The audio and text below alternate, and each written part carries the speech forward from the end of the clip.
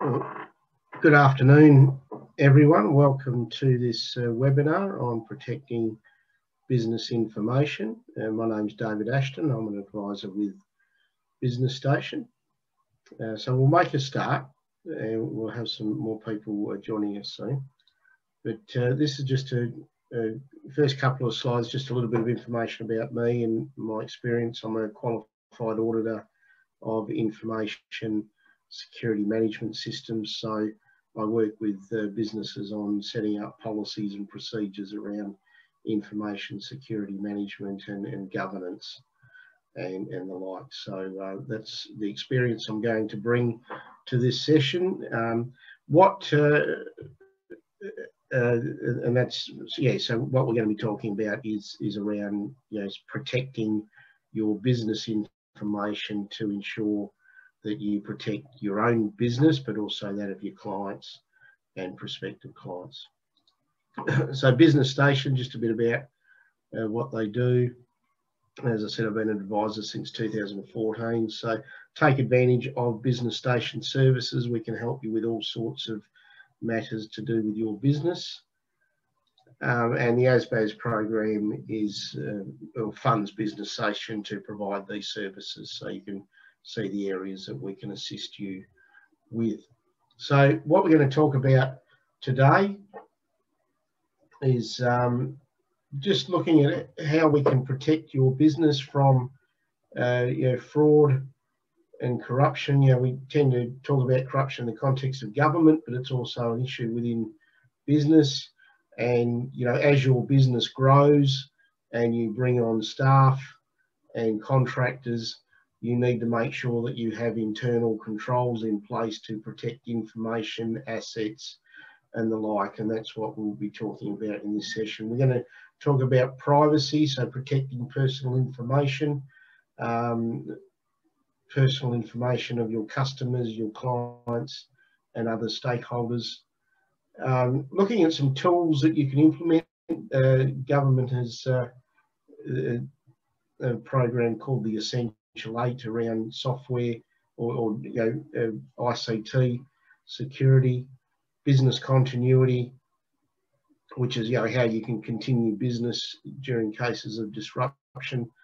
Uh, we're going to look at information security management systems. So that's the the policies and procedures that you can implement to uh, improve security of your data, information, records, and the like. Uh, I'm going to show you some slides on where there's some support from government to assist you in this regard. And then we'll just uh, finish the presentation with a, with a brief summary of what we discussed. Now, where I'm looking at it from is when, when we talk about information security management, you've sort of got your your legal aspect of it, so the laws that you have to comply with, like the Privacy Act and and the like. Then you've got your software element where you can purchase particular software and applications to assist in preventing cyber security attacks and like. Where I'm primarily coming from is you as a business owner, what sort of policies and procedures and management approach you can put in place to make sure all these things are actually happening and that you've got guidance for your employees to be able to manage and protect personal information, business information, I mean, your business information, your client's business information, and the like. So I'm looking at it very much from a management perspective rather than a legal or a, I guess, a, a technical cyber software type component. So the first area we're going to look at is fraud and corruption within your business. And, and obviously, depending on the size of your business, yeah, this these sort of things are going to be uh, more prevalent. But you know, we're talking about fraud in, in the context of people stealing money and assets from you, corruption in terms of how they deal with external parties. And as I said, you probably hear a lot of these things in relation to government, but it's normally private businesses that are part of the problem as well. So we're going to look at this sort of thing. So and and you know what what you can do to help mitigate these problems. So, what is fraud and corruption? So it's the intentional act of involving um, the use of deception to obtain an unjust or illegal advantage. Uh, for those of you that have just joined us, we've just uh, basically started. So if you've got any questions as we go, put them in the chat box uh, and I'll answer them and go, although we may be coming to the answer. And um, you'll receive a copy of this presentation uh, later on and also have access to the recording. So we're just talking about what is fraud and corruption and the internal controls you can put in place. Um, so intentional act of involving the use of deception to obtain an unjust or illegal advantage. Examples of fraud include the misappropriation of assets, so uh, using you know, resources for personal use when they're, they're not permitted to be, manipulation of financial reporting or external reporting, so you know, incorrectly completing your tax returns or other uh, legal uh, financial reporting that you have to do, causal loss, causing loss or liability through deception, uh, false invoicing for goods or services, backdating agreements, exaggerated fictitious accident harassment or injury claims, misuse of legal uh, leave entitlement. So these are examples of some fraud that can happen in your business and you know invoicing of goods and services is a good example where you know someone is uh, you know uh, charging more than what it actually is and you know additional funds are being hived off into their back, personal bank account rather than into your business account so you can put in place various procedures to mitigate that, this, which is what we'll talk about. So what's corruption? Dishonest behaviour by those in positions of power. Um, they act contrary to the interests of the business. Abuse of trust in order to achieve personal gain for themselves or someone else. So it's really basically, you know, an employee or a contractor that you've engaged that's using your business, your resources, your money to enrich themselves to their benefit and not yours. So examples, so secret commissions, bribes, you know, releasing your confidential information for an improper purpose, manipulating a tender process, um, dishonestly using influence, blackmail, not disclosing any gifts or hospitality, misuse of the internet or email, so unauthorised release of confidential private information. sorry, or intellectual property. So, you know, you as a business owner, as I said, yeah, I mean, if you're a single person business, then I mean, a bit hard to com commit fraud and corruption against yourself. But it's more of a case of as you grow your business and you bring on staff and the like, you need to have in place internal controls to protect your finances, protect your assets, protect personal, client, and business information and it's about establishing policies and procedures to give guidance to staff as to what is expected of them in relation to these matters. So these sort of problems don't arise. And if they do arise, you have mechanisms in place to be able to terminate employment, um, to uh, get uh, funds back, uh, mitigate any insurance issues and the like. So it also provides comfort to your um, clients uh, that you've got uh, good processes in place to prevent um, their their business as well. So you know, preventing fraud and corruption. So develop and implement policies and procedures. You need to have a commitment to those policies and procedures at all levels. Identify potential risks and develop you know risk treatment uh, plans for those. Um, undertake due diligence on prospective employees, contractors and suppliers, so you know, referee details and all that sort of stuff. You know, communication to and training for employees and contractors. So again, you've got a suite of policies and procedures in place to prevent fraud and corruption control. You need to train your employees, you know, your new employees, your induction processes, um, and, and that type of thing. So, and then monitor and review. So internal audits, you know, you might be big enough to engage an external auditor to come in and make sure that these things aren't happening. And then put in place mechanisms to enforce and sanction um, against uh, you know, this sort of uh, thing from happening in your business. Uh, there is some uh, procedures that you can put in place around good governance. So there's an Australian standard 8000 that you can use um, to assist in that regard. So some of the policies that you could put in place and procedures, so code of conduct, uh, conflict of interest, uh, reporting fraud and corruption, so whistleblower, uh, receipt of um, hospitality and gifts, personal files access, so you know who in your organisation should have access to records and documents and other files, policies and procedures around the recruitment, selection and induction of new staff, you know, leave management, flexible working arrangements, which have you know become important over the last 12 months. So if you've got staff working from home, you know, what sort of uh, expectations are in place to ensure protection of your business.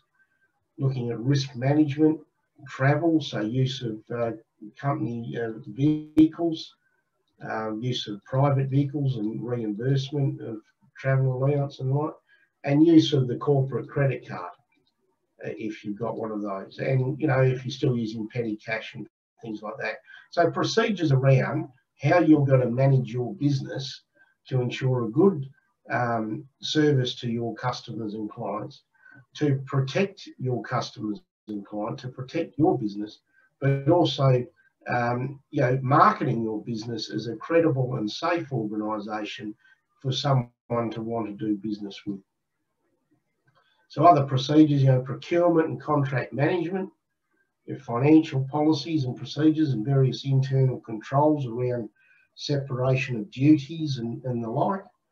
Um, looking at confidentiality and release of official information. So who has access to it and in what capacity can be released to third parties. Uh, procedures and policies around disciplining staff that, that don't do the right thing. And put in place acceptable use of, uh, you know, your computer systems and access to internet and social media and the like. So, and, you know, use of, uh, you know, business telephones, you know, on what basis can these be used for personal use? So these are some measures that you can put in place to prevent fraud and corruption in your business. And, and obviously, depending on the size of your business, will determine the extent of the policies and procedures that you engage with. And, and also looking at things like contracts of employment. Um, you can get some templates from Fair Work Australia and the Ombudsman on that, that cover off on some of these sorts of matters in that contract of employment. So now we're going to look at, uh, at privacy. So privacy is generally around personal information. So collecting personal information about your customers, so credit card details, names, addresses, telephone numbers. You know, I think with COVID at the moment, with the, you know, the sign into premises, you know, people can do that manually. So they're, they're putting their full name, and their telephone number on there. I'm, I'm not sure that that's the, the best um, uh, way to ensure personal protection of information if everyone else looking at that sheet can see names and telephone numbers. So perhaps the app is the app that uh, the, is the best way to do that. Um, but you know, you need to. Um, there is a legislative requirement for business to have policies and procedures around personal information. And this slide here has a definition of what personal information is. Um, you know, information on an opinion about an identified individual, uh, whether the information is true or not, and whether the information is recorded in material form or not. So it's basically any personal information that you would collect that would identify um, an individual that you do business with. And from my point of view, I extend this to your clients and your, your customers and, and other organisations that you deal with in relation to managing your business because they need to be satisfied as do you in your dealings with them, that business information can be protected. So it's not uh, getting to people that shouldn't have access to it, particularly in relation to uh, your business information and access by competitors. So the Privacy Act uh, is uh, is the legislative backing here. Privacy Act 1988. It's a Commonwealth legislation. Some states have their own legislation, but the purpose of it is to regulate how business collects information, stores it, disposes of it, provides access to users and discloses personal information to third parties. So you need to develop a range of policies and procedures around how you do these things. How do you collect information? Uh, as I said, you know, someone's paying with a credit card, you, you're collecting details about that. You know, you might have a, a newsletter that you send out to your you know, customers and, and clients. You know, you're obviously collecting possibly a name and an email. So how do you collect it? How do you use it? What do you use it for? How you store it? Who has access to it? So th there is some legal requirements. Um, so businesses with turnover greater than $3 million must have a privacy policy that documents all these things. It's exempt for smaller businesses, but you're encouraged to opt in if you deal with personal information of your customers. Um, so it, it's handy to have that sort of thing. And a lot of these things are put up on websites and and like or displayed in um, uh, the business if it's a, a retail business. So you need, in terms of protecting personal information, you need need to maintain a strong security posture around your policies and procedures. You know, you need to have you know comprehensive security plans, identify the types of information that's collected, um, and, and process, identify any applicable laws and regulations that may apply to that. You also need to then determine your processes for collecting collecting, uh, using, storing, accessing and disposing of information. So, yeah, we're not just talking here about personal information, but also your own internal business information. You know, what do you collect? How do you store it? Who has access to it in your business? You know, not every employee needs to have access to every record or document that you keep. And how do you dispose of it? And, you know, I think it's, you know, things like storage, is important. You know, obviously, if you're storing electronically, the more records and documents you keep, the more storage capacity you need from an electronic, you know, you know, cloud environment or whatever, that comes with a cost.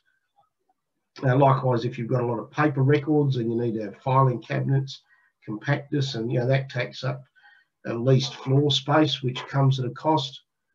Uh, who in your organisation has access to it? So um, as I said, you need to have some policies around who should have access to what and how you dispose of it. And, and you are entitled to dispose of records once they've reached their end of useful life. So, you know, with your finance and accounting records for your tax returns, you don't need to keep them forever. So after, you know, seven years, you, you do, or five years, depending on what type of record it is, you can uh, delete that and dispose of it from your system.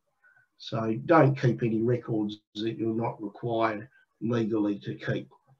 Um, but having said that, there may be some records of a business nature that you do want to keep. There might be some, you know, historical records or, or the like. So you need to identify, you know, what information you have and then put in place some policies and procedures around how you're going to manage them. So look at your risk register. So you know, identify risks in, in how information is collected, used, stored, accessed and disposed. So, you know, make sure that uh, you comply with relevant privacy laws. You're not uh, inadvertently mishandling personal data so that you know, people get access to personal information and that they're not required to. And that there are, um, you know, risk mitigation around data breaches as well and cyber security attacks.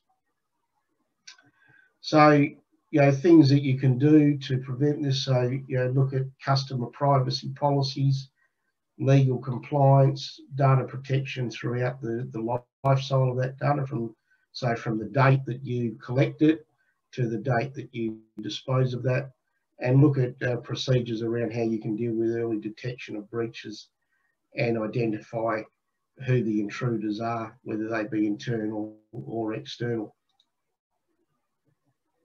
You may need to report misuse or breaches of policies and procedures and um, data breaches. Uh, and one of the controls is to, you know, with new employees, you know, in the induction process, um, you know, outline the expectations, have them sign off on policies and procedures around um, this sort of, you know, personal and business information. And when they leave the organisation, have the processes in place to ensure that you, you know, terminate passwords, you collect any keys and access cards and anything uh, of a business nature that they would have access to, you collect from them.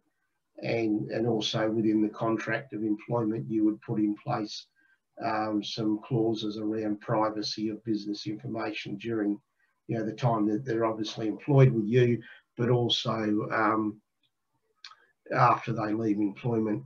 And you know, from your own point of view as the business owner or manager, you know, conduct regular audits to make sure that good policies and procedures are in place, they're relevant and up to date, and um, they're being followed and implemented by your staff. Uh, if you need some assistance on um, privacy, uh, you can access the Office of Australian Information Commissioner who will um, assist you with uh, putting in place a privacy framework uh, for your business. And uh, as I said, depending on the size of your business will determine the extent to that to which you have to go through and the extent of documentation and policies and procedures you put in place. So some uh, standards and, and, legislation that you might come across, uh, particularly, um, and, and I've, today I've conducted two other webinars on tender writing and grants, and um, you know you're going to get questions in your tender submit you know, the tender process and through the grant process about your policies and procedures around how you manage information in your business and customer privacy and the like. So having good policies and procedures in place and being across relevant legislation and standards can be can assist you in that regard. You don't need to be an expert on it, but you need at least need to understand that these things are, are in place and, and what they're about. So good governance principles, so that's an Australian standard um, that you know talks about good governance, so fraud and corruption, whistleblower, um, codes of conduct, that type of thing. Information security management system, so that standard which we'll talk about a bit later on.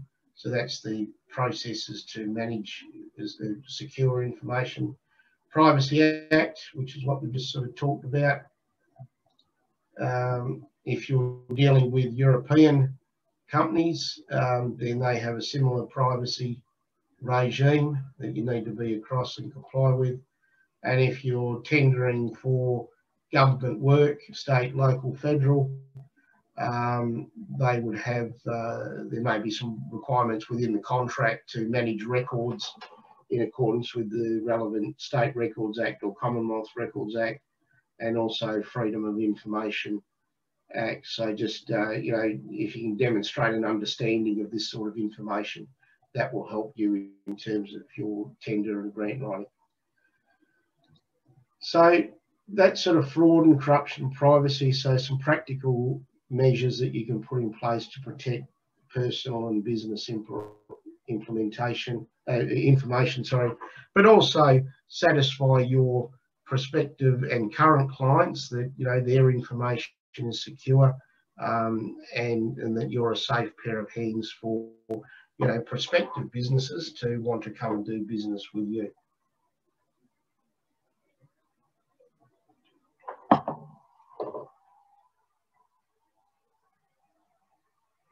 So what the, um, the, the government, federal government has done through the uh, cyber security um, channels that they've set up is they've, they've come up with this, what they call the Essential Eight, uh, to help small and medium businesses um, protect against cyber security threats. And I've just got some a few slides just outlining some of the basic concepts of this, um, and it is designed for small and medium businesses.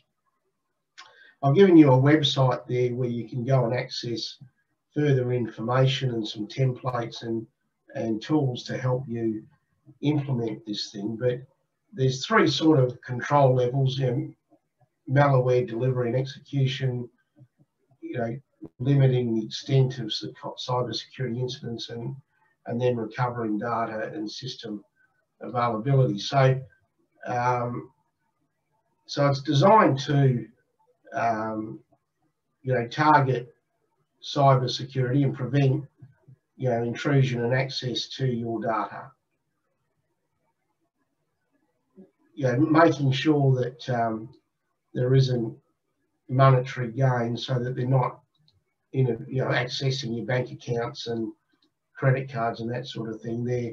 So it's really a range of measures from a, you know, a, software um, ICT basis to prevent access to your corporate data. So uh, while I said earlier that my focus of this discussion is around the management side of it, having a good management system in place will ensure that these sort of things are implemented. So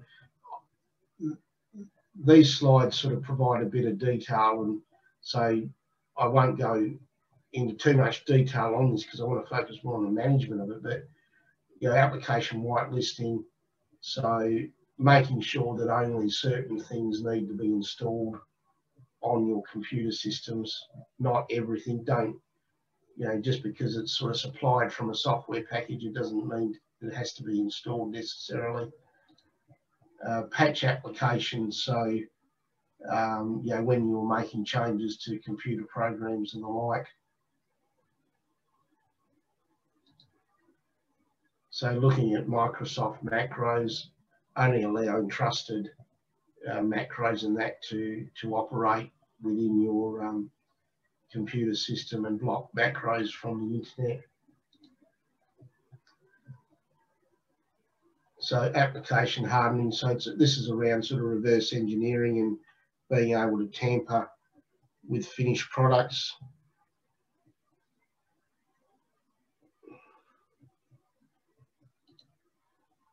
So restrict administrative privileges. So again, this is getting back to that fraud and corruption and, and who has access to what. As I said, no one, not every employee needs access to everything to do with your your system. So put in place um, you know, access provisions, who has access to what, how they access it, and the means by which they access it.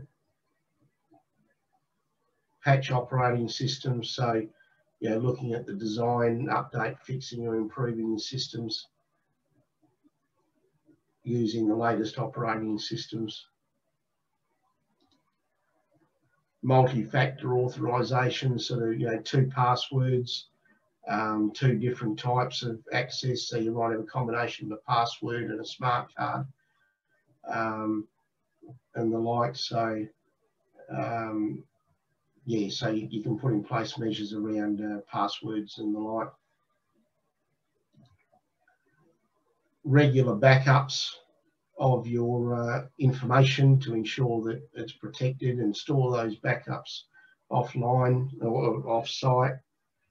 Uh, depending again, depending on the size of your business, you know, you might have a portable hard drive, so you know, store that somewhere secure. Uh, or if you're storing it on the cloud, that type of thing. So, but you know, when you're looking at backup arrangements, do your research on what type of um, systems and, and procedures and other uh, resources are available to you.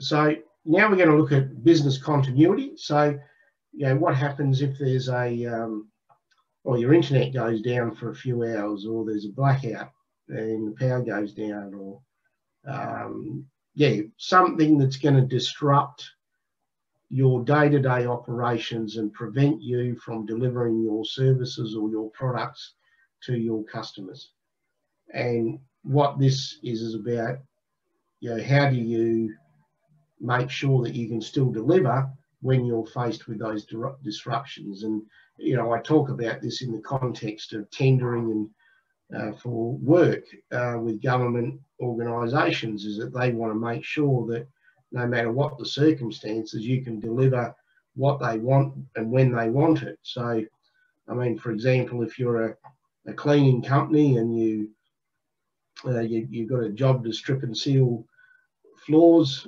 ready for in a hall, ready for a function on Saturday night, and you, you've been asked to do that on Wednesday, and you your polishers break down. You know what happens? Does the work get delayed, or do you have backup machinery in place to be able to um, continue the job? Likewise, with your employees, what happens if they go on leave? Who steps up to take over their work in periods of leave. So that's what business continuity really is about. It's a management process to identify threats to an organisation and the impacts to business operations. And then you put in place a framework to build resilience and diminish and avoid that disruption. So no matter what the circumstances, whether it be equipment breakdown, staff leave, uh, um, you know, staff on sick leave or, or whatever, the internet going down, the power going down, whatever, no matter what the circumstances, you can still deliver to your client or your customer what they want and when they want it. So, you know, minimise the risk and vulnerability.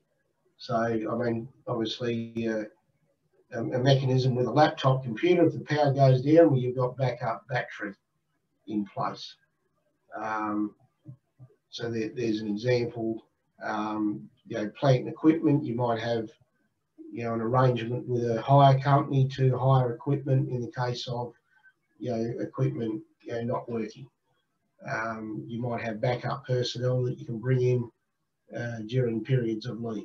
They're sort of examples of, you know, business continuity measures. And I've given you a template there. There's a website you can go to and uh, yeah, basically what it is, how you're you going to deal with your business and run your business when things go wrong and or things don't go to plan. So you can use that template to develop a business continuity plan. And you know, in, in understanding the planning process, identify the risks and the impact to your business. So what is the impact? So a risk is obviously uh, loss of internet connection. Uh, what's the risk to your business? And what is the and then develop the strategy to mitigate that risk, you know, document that in a plan, implement the plan, test it and review and maintain it. So business continuity is really a risk management tool that you can ensure that no matter what the circumstances, you can um, deliver to your customers. So, you know, the plan should outline the risks that you face, incorporate you know, the identification, the prioritisation of those critical business processes that may be impacted by that risk, uh, and then procedures in place to reduce the risk and limit their um, impact on your business operations. And also look at the conditions for activating the plans, look at some emergency procedures and, and that you may implement and look at what your fallback procedures are. So as I said, you know, what is your fallback if the internet goes down, for example, or what is the fallback in place if a piece of plant equipment, you know, breaks down or, you know, what happens if you're having to travel to meet a client and your, your car won't start, you know, what are you going to do in that situation? So again, it's, it's providing that comfort to your clients and your customers that no matter what the circumstance, you're still going to be able to deliver them the service that they expect. Uh, so look at you know resumption procedures and returning to normal. I mean, COVID-19 is a classic example of business continuity. I mean, it was sprung on us at the with no notice, and we all had to act to maintain our business. So you know, people work from home. Uh, we put in place a whole range of measures to ensure business continuity. Uh, you know, retail, you know, restaurants weren't allowed to have diners in restaurants, so a lot of them moved to, you know, takeaway. which they may not have provided that before. Uh, so what, but having said that, a lot of those measures that were put in place were reacting to a problem. The question is, did they have plans in place to deal with a situation like that in the first place? And that's that's what business continuity is. It's identifying all the risks that could that could prevent you from continuing your business and then put in place plans that if those risks do arise, that you've got a plan in place to continue business. So um, that that's really what it's about. So you're not reacting to events, you're anticipating events and then putting in place a plan to deal with it. So you've got that smooth transition to the new way that you're going to do business during that interruption. So that's essentially what business continuity planning is. And as I said, you will probably get a question about this in your tender submission or a business grant application. And hence why I run these sort of workshops to help business better manage and grow their business. So the next area we're going to talk about is the actual nuts and bolts of it, the information security management system. So this is all the policies and procedures that you can put in place for your business. And there is a, an international standard, 27001, that can you can use to guide you in that. It's all about scale. You know, the bigger your business, the more complex. If it's you, if it's just you and a laptop, then obviously you would put some measures in place to protect you. If it's you and a couple of employees, then that's going to require a little bit more rigor in the types of procedures that you put in place. So an information security management system is po uh, policies and procedures involved in an organisation's information security risk management processes. So policies and procedures to help you manage your information and protect it from people that shouldn't have access to it. It applies a risk management approach and it can help SMEs in any sector keep information assets secure. So really it's just policies and procedures. Could be a one page statement. Could be a one pager with a few dot points. If this happens, do that. Uh, purpose, so it's designed to examine your security risks, help you develop and implement policies and procedures to manage those risks, and help you adopt a, a management process to ensure that controls continue to meet your security needs. So as your business changes, as it grows, uh, you know, uh, as new issues, external and internal arise, that you're constantly reviewing it to make sure that you've got the right processes in place. So the structure of this uh, standard is, is as per the screen there the um, introductory statements, but it's really the requirements from four to 10 that you need to develop some policies and procedures around. Um, so the first stage is to determine your organisational context. So this is looking at you know, the, the basis of your organisation, internal issues, external. So you know, developing a business plan, for example, you understand your internal and external environment. So looking at your strengths, weaknesses, opportunity and threats. What are some of the political, economic, technological, uh, technological and um, social issues? What are some of the legal issues? You know, the legal issues that you've got to um, uh, comply with and also the environment in which you operate. So they're sort of the factors that would determine your context as an organisation as a business owner, you need to demonstrate leadership. So if you're putting in place these policies and procedures, then you need to um, you know, adhere to them as well and you know, ensure proper training in that to assist with implementation. You need to put in place some plans to achieve the outcomes that you're hoping to obtain from uh, this uh, process and mitigate those risks and also improve business performance so that you're constantly looking at ways and means to um, improve your information security management. Um, and then de determine the resources required to support the management system. So again, it's all about scale. as I said, you know, what, uh, depending on the size of your business, um, you know, it could be just a couple of one page flow charts outlining what to do in certain circumstances. Uh, you need to plan, implement, control and maintain the processes needed to develop, implement and maintain an, an ISMS. So um, yeah, that's all about the procedural development, operational procedures. You need to evaluate performance, so you need to ensure that the procedures that you put in place are actually effectively achieving um, improved information security management. And then you need to identify you know, what we call non-conformities, so things that aren't working properly and put in place measures to correct those and then over time improve performance. So you don't want those sort of non-conformities happening all the time. So as part of this, we need to put in place a policy. So it needs to be appropriate to your organisation. Um, it's just really a one-page statement of intent, really. Uh, we hope to achieve this by doing that and it's going to be the responsibility of these people to ensure that it happens.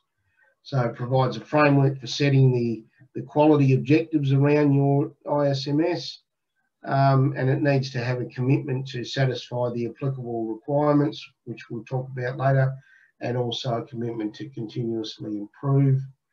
And you have to document that. So as I said, a, you know, a one-page policy. It's got to be communicated. So you might want to put this on your internet or you need to communicate that to your, your suppliers and your customers and your other stakeholders that you deal with. And it needs to be available uh, when requested. So if people want to see it, they need to uh, be able to see it. So you need to set objectives.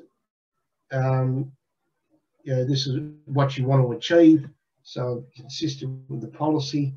So objectives could be around, um, you know, no incidences of a security breach, uh, no incidences of misuse of information, no incidences of misappropriation of uh, finances. They're the sort of measures that you put in place. Look at it in the context of your risk assessment. Uh, so obviously the objective, if you've identified a risk, then the objective is to make sure that that risk doesn't materialise. You need to monitor them to make sure that you're achieving those objectives. You need to communicate that to your staff to ensure that they implement the processes to ensure that those objectives are achieved. And you need to review those and update them as they're required to suit your business at any given point in time. So in support of the policy, you need to develop various procedures to maintain the processes, you know, meet the requirements, implement plans, perform the risk assessments and put in place the risk treatment plans. So the standard requires um, certain documentation. Um, so you've got to develop a document outlining what your scope of the information security management system is um, you know, so because it might not apply to all aspects of your business, you've got to have a, a written policy, you've got to have written objectives, you've got to have a risk treatment plan, you've got to have a statement of applicability, which I'll talk about later, and yeah, so and the risk treatment plan, risk assessment, and the methodology around how you assess risk.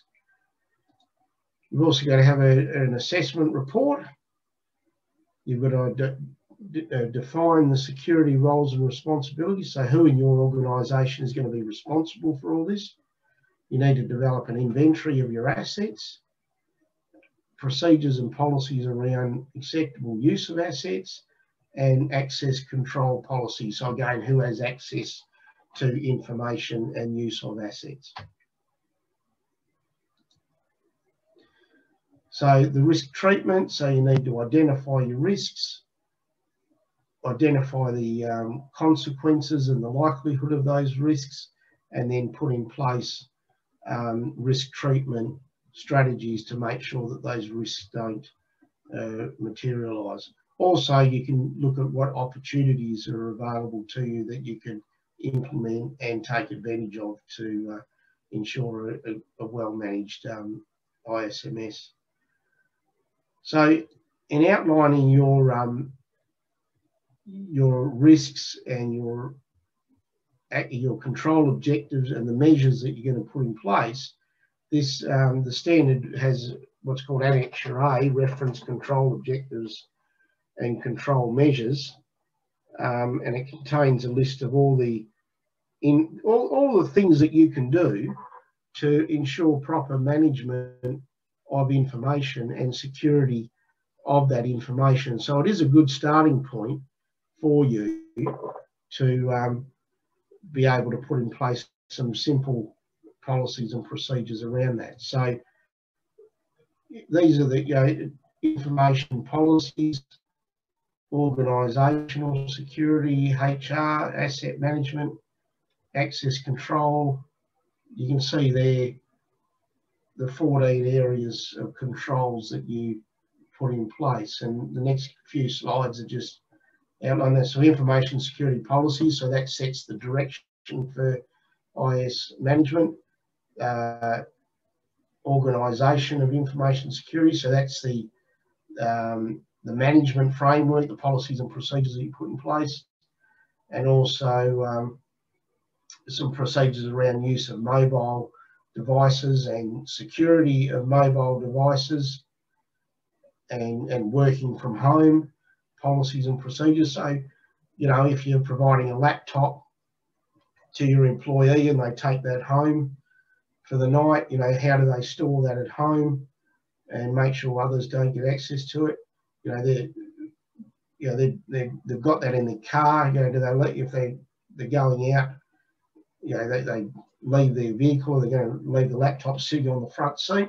You know, make sure that they perhaps store it in the boot for example. So you can put in place some procedures around mobile devices and working from home or working remotely. Looking at your HR security.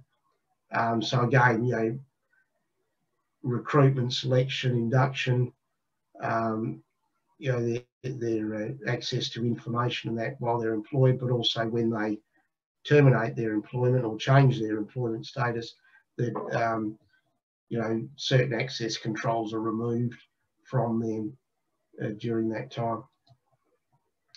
Looking at asset management, so who's responsible for assets, and I've got a, uh, a webinar tomorrow morning at 8 o'clock Perth time on protecting assets, uh, responsibility for assets, classification and media handling. So that's talking about the form the assets take. So um, you know, different uh, means of handling that information access control, which we talked about. So who, who in your business has access to what information?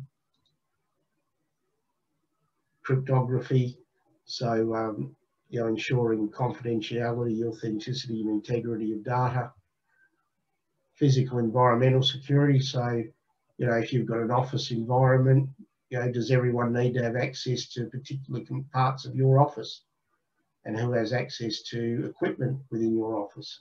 does everyone need to, you know, have access to the filing cabinets if you've got paper records, for example? Where do you store those filing cabinets? Operational security. So this is all uh, where the essential eight uh, would fit into as well that we talked about earlier. So, you know, backups and, you know, operational software and logging and monitoring and, and the like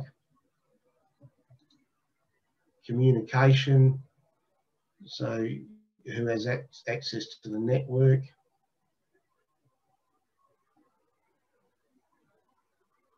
You know, your acquisition and development and maintenance of uh, hardware and software, how's it done, who has access to it, what control measures are in place. Supplier relationships, I mean, you know, if you're uh, not just suppliers, but customers and other stakeholders, if you're entering into uh, contracts with the with other third parties that you make sure that you have provisions in the contract around information security management and access and control of your business information. So you can protect yourself that way. Incident management. So what happens if something does happen? What's your processes in place to correct that as soon as possible to minimize the impact? And you know, business continuity which we've talked about. So you know, the security continuity redundancies put in place around backups and the like, you know, storing information off site, um, storing stuff in, you know, paper records, make sure that, you know, they're stored in fireproof cabinets and, and, and those sorts of things. And then, and then looking at your compliance requirements. So not only your legal compliance, uh, but also your contractual compliance with your customers, clients, and the like. So making sure that you're complying with contracts that are in place as well. And then, you know, undertake reviews of your security measures. So that's really the whole um, process of information security management. As I said, I think it's in, it's very in, increasingly important to have some good policies and procedures in place. It's certainly questions that you're going to get asked about in tenders and grant applications. So if you want to win a tender, you, are probably going to have to demonstrate good security management of information. It's uh, you know, about that organisational capacity, and you may very well get some questions from existing and prospective customers and clients and contractors and suppliers. So if you can demonstrate good systems and procedures, and that, that's going to add to your credibility as a business. So uh, there is some support from government. So um, cyber.gov.au, the Australian Cyber Security Centre. So go and have a look at that website. And then there's an organisation called AusCyber, which um, does a lot of work with uh, small and medium-sized businesses to help them get uh, improve their cyber security. So, and then uh, the earlier website was the Office of the Information Commissioner. Um, so in conclusion then, so thanks for participating. Um, you know, a successfully implemented information security management system will have you know, top management commitments. So you, you as the business owner, making sure that you, you do these things, um, commitment from other employees, uh, you'll communicate and consult with key people and organisations to help you inform the procedures. You'll develop good policies and procedures. Um, you'll allocate sufficient resources to make sure that these things are in place and are working effectively. You'll integrate it with all your other business processes. You'll monitor it and measure it for, to ensure that it's performing well and you'll document evidence of implementation because that's the sort of things that an auditor may want to see. And I believe it'll lead to, um, well, secure business information in all forms, whether it be paper or record, um, reduce information security costs because, you know, you've got robust systems in place. I think it'll allow you to adequately respond to any security threats. So, you know, do you have a COVID 19 safe plan or a pandemic plan or something like, like that in place, like many organisations are having to do? Um, so, yeah, as I said, identify the risks to your business continuity and put in place measures to ensure that those risks don't impact your business.